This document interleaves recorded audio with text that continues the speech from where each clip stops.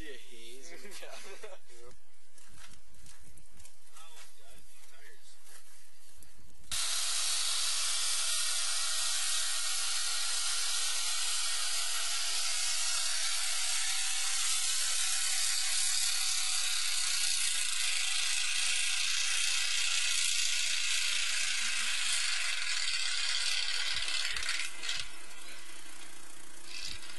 Getting pausey this time.